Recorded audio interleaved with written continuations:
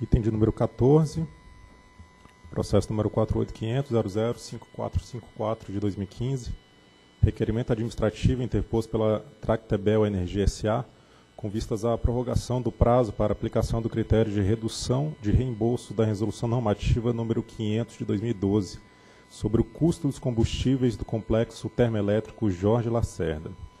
Relator, diretor André Peptoni.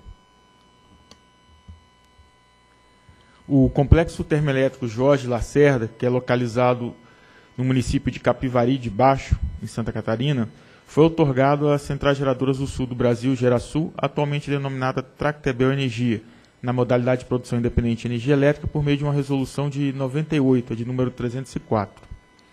A Resolução Normativa 500, de 2012, estabelece o um mecanismo de reembolso dos custos de combustíveis para usinas termoelétricas que utilizam carvão mineral nacional como fonte energética, com recursos da Conta de Desenvolvimento Energético, a CDE, em consonância com os artigos 33 e 34 do Decreto 4541 de 2002, que regulamenta o artigo 13 da Lei 10438 de 2002. Em 1 de julho de 2015, a Tractebel protocolou na ANEL a Carta 39, na qual solicitou postergar para 1 de janeiro de 2017 o mecanismo de redução do reembolso contido na Resolução Normativa 500. A Superintendência de Regulação de Serviços de Geração, por meio da nota técnica 137, de 1 de dezembro, manifestou-se favoravelmente a atender o pleito da postergação. E em 30 de novembro, o processo foi distribuído por sorteio esta relatoria ao relatório. Procuradoria. A Procuradoria opina pela presunção de juridicidade da decisão a ser proferida pela diretoria. As quatro usinas do complexo Jorge Lacerda utilizam carvão mineral nacional como combustível e, nessa condição, são beneficiários do subsídio da conta CDE. A Resolução Normativa 500, de 17 de julho, institui aos agentes geradores beneficiários da CDE mecanismo de corte do reembolso do custo do carvão mineral com eficácia a partir de 1 de janeiro de 16. Conforme dispõe o, artigo, o parágrafo 4 do artigo 3 dessa norma, o mecanismo observa a razão entre a eficiência energética da usina e determinado valor normativo. O parágrafo 5 do artigo 3 da mesma norma prevê, entretanto, que, excepcionalmente, o prazo para aplicação do mecanismo pode ser prorrogado para 1 de janeiro de 2017, sob ato autorizativo específico da ANEL, desde que comprovado até 31 de outubro de 2015 a realização de obras de reforma ou renovação da central geradora para atender a eficiência energética de referência. E assim a Tractebel solicitou tempestivamente prorrogar o prazo, mediante a carta número 39 de 1 de julho de 2015. E segundo a empresa, diversos investimentos eram realizados no complexo termoelétrico Jorge Lacerda para melhorar a eficiência energética.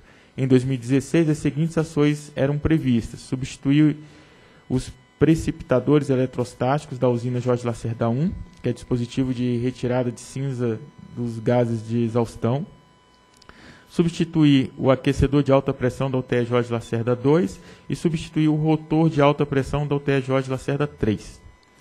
A Superintendência de Regulação de Serviços de Geração, por meio da nota técnica 137 de 1 de dezembro, considerou provável o ganho de eficiência energética do complexo em decorrência dos investimentos em curso. A SG, contudo, ressaltou que postergar o percentual de reembolso de 100% de 1 de janeiro de 16 para 1 de janeiro de 17 pressuporia que as usinas alcançassem a eficiência energética de referência definida para o complexo termoelétrico Jorge Lacerda. Assim, Caso houvesse ganhos parciais de eficiência em 16, o reembolso deveria ser proporcional ao desempenho. E nessa condição, a SRG propôs aplicar provisoriamente o reembolso de 100% em 16, até que o ganho de eficiência decorrente dos investimentos em curso fosse medido pela Eletrobras no início de 17. A superintendência indicou ainda que a eventual diferença entre a eficiência de referência das usinas e a observada no final, no fim de 16 fossem revertidas em 17 a CDE mediante glosa dos valores reembolsados. E diante dos argumentos da SRG e da possibilidade de aferir os ganhos de eficiência decorrentes dos investimentos em curso, julga-se coerente postergar o percentual de reembolso de 100% de 1 de janeiro de 16 para 1 de janeiro de 17. Observa-se, no entanto, que a eficiência energética real do complexo termoelétrico Jorge Lacerda, referente a dezembro de 16, deve ser apurada em 17 e o reembolso corrigido para valores proporcionais ao desempenho da usina.